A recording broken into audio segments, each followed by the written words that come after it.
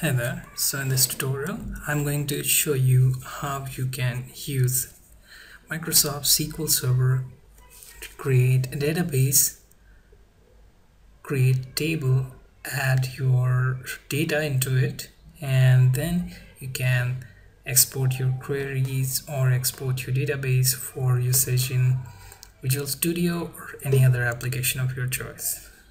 So whenever you open SQL Server Management Studio, you will be presented with option for selecting a server type where you can choose between compact edition or database. When you choose database, you will be connected to SQL Server edition installed on system. For me, it is SQL Server 2008.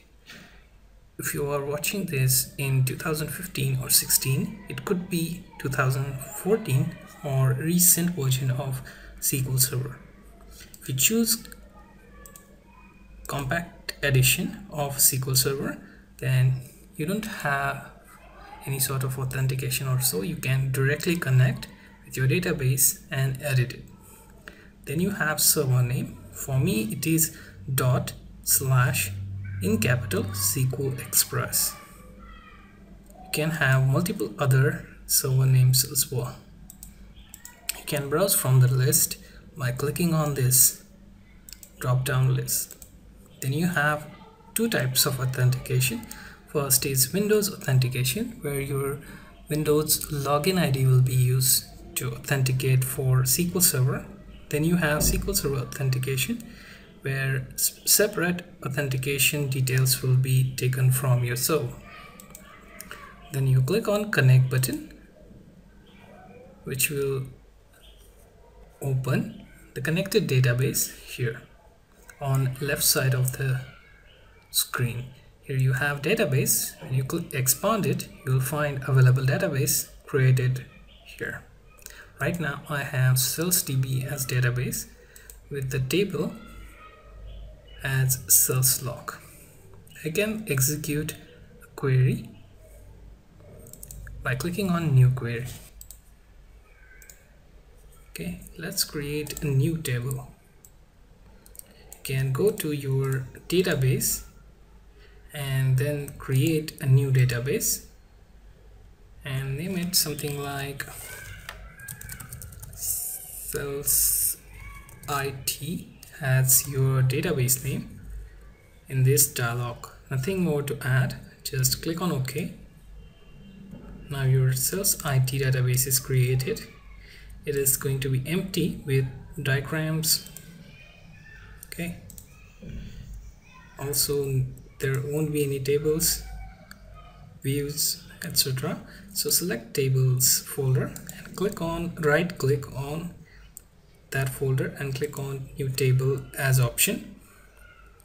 Here you'll be able to create your columns. So let's type sales id then have data type as integer right now I'm not going to allow nulls and I'm going to select this column with the help of table designer to set a primary key. Okay so this is primary key. From this key we are going to recognize our table with while making connection with another table. So let's add so here you can find another column. Let's have it for salesperson and give it varchar allow nulls. Then you have items sold. Have it again varchar then price with integer and quantity so this is the type of data that we are going to collect in our table. So let's save this. Name it sales inventory and save this table. So you will find it appeared on dbo.sales sales inventory folder and you have your columns here with sales id as primary key now let's save this and execute a new query. Select star from and type sales inventory. End it with semicolon and execute the query. And you'll find that at the bottom here you have table structure as sales id salesperson items price and quantity now let's insert a data here. So let me keep caps lock and type insert into name of our database is sales inventory. Inside the bracket we are going to type the name of columns. Sales id then salesperson then items. Then price. And finally quantity. I'm going to close the bracket now and going to type in values. Inside which I'm going to type name as one salesperson as Amy then sales item being pen then we have price as 12 and quantity as 10 going to close bracket now and going to end with semicolon and execute the query. After that one row is affected. That means our data is added here into table.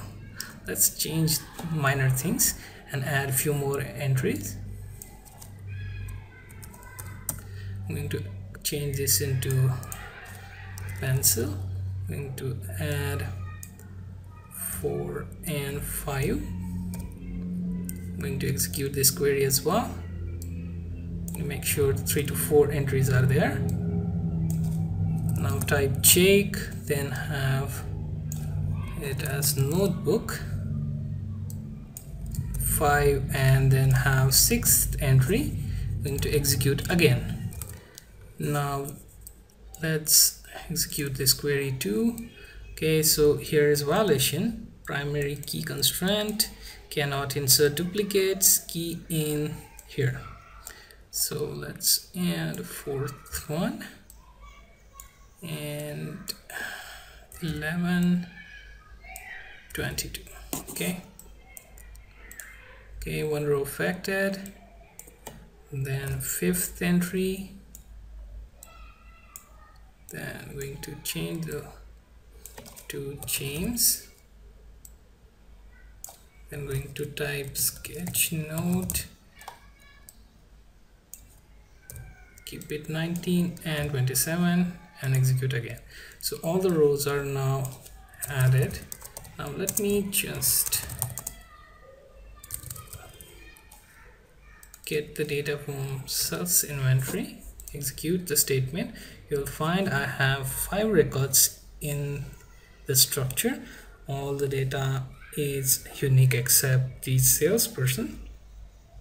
Okay so how about if you want to change the fourth record? For that we are going to type update. Let's just assume that we want to change salesperson to Bob where sales ID equals to 4 I'm gonna execute this statement. Okay one row is affected. That means our data is updated. Okay so sales from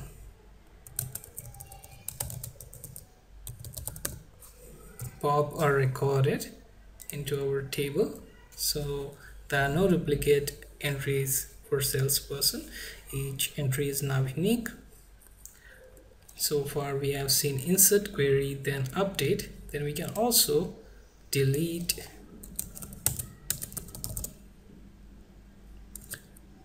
use delete to delete. Let's say fifth record. We want to delete this record only keep four records in our table. Now let's type delete from sales inventory where id let's say sales id equals to 4 okay so this entire row should be deleted one row affected. Let's check out again.